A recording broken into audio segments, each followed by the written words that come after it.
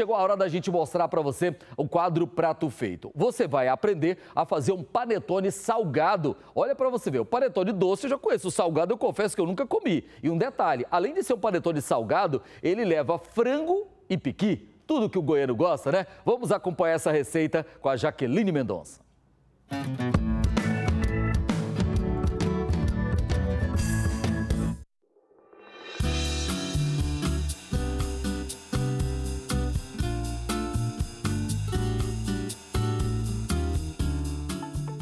Então é Natal.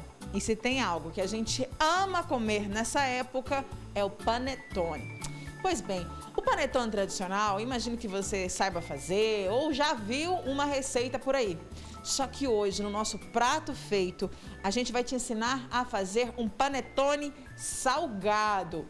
E eu digo mais, um panetone com a cara dos goianos. Sabe de quê? Panetone de pequi com frango. Não acredita? Pois é, a Daniele tá aqui e vai ser. Batedeira mais resistente, porque aquela batedeira antiga de dois ganchinhos pode acabar queimando. É, que a massa tá bem consistente. É, a massa vai ficar um pouco pesada agora, tá?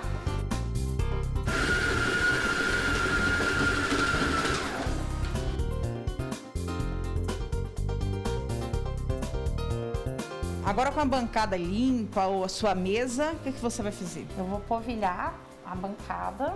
A bancada tem que estar higienizada, porque você vai trabalhar com essa massa em cima da bancada. Isso pode ser uma mesa, um balcão? Pode ser uma mesa, um balcão.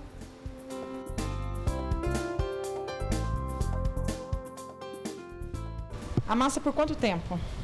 Até ela desgrudar, mas geralmente é de 10 a 15 minutos. E aí você vai sentindo a densidade da massa e aí você vai acrescentando farinha.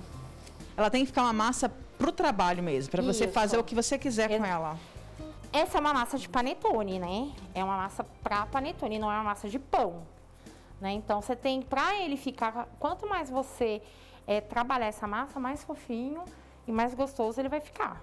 Então, amassando por cerca de 10 a 15 minutos, ela chegou no ponto que você queria. Isso, ó, ela já não gruda, tá vendo? E ela já tá uma massa Pronta que para tá ser trabalhada. boa pra gente já colocar ela pra crescer e trabalhar no, no recheio dela. Agora que já tá aqui, como é que vai ser? Aí agora a gente vai deixar ela descansar. Deixar ela descansar, eu vou cobrir a massa. E ela vai ficar aqui descansando por cerca de 40 minutos. E 40 minutos depois, a nossa massa já tá quase pronta, né? Você pode deixar a massa crescer muito mais. Isso, pode. Geralmente eu deixo ela crescer mais para ela ficar mais fofinha, tá? E aí eu vou pôr aqui pra gente poder trabalhar ela. Aí eu vou agora no rolo. Haja braço. Haja braço.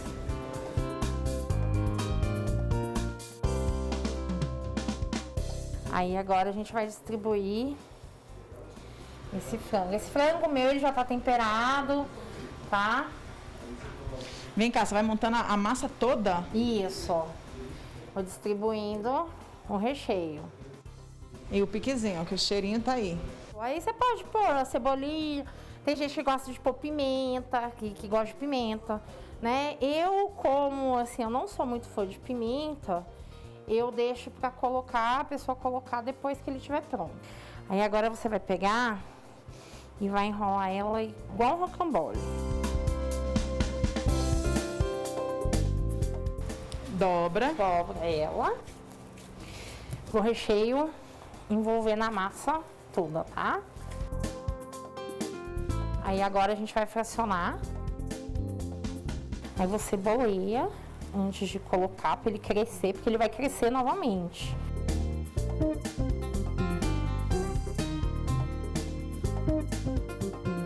Agora a gente já vai levar pro forno. Isso, aí a gente, antes de levar ao forno, a gente dá uma pincelada Com gema. com gema, Ó. Pra quê? pra ele ficar douradinho, né?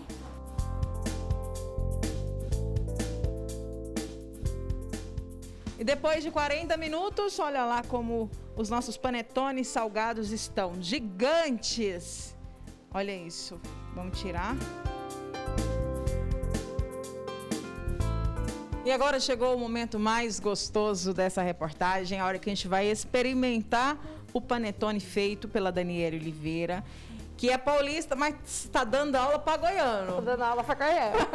Vamos ver, pode partir aí. Vamos começar por esse grande. Olha, bem crocante, né? Olha isso. Vamos experimentar? Mas eu acho que é bom comer com a mão, né? Afinal, é panetone. É, panetone se come com a mão, né? Hum, cheirinho bom. É um sabor gostoso, sal, cheirinho de piqui, o frango. Hum. Obrigada por nos receber. E eu, como goiana, aprovo o seu panetone de frango piqui. Ah, obrigada.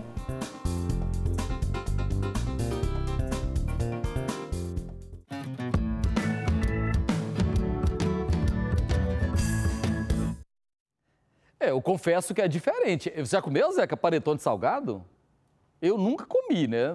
Salgado, gosto, adoro panetone doce. Agora, salgado, eu tenho que experimentar para dar a minha, minha opinião. Não sei, né? Parece que ficou bom ali, né? Vamos, vamos ter que experimentar, né?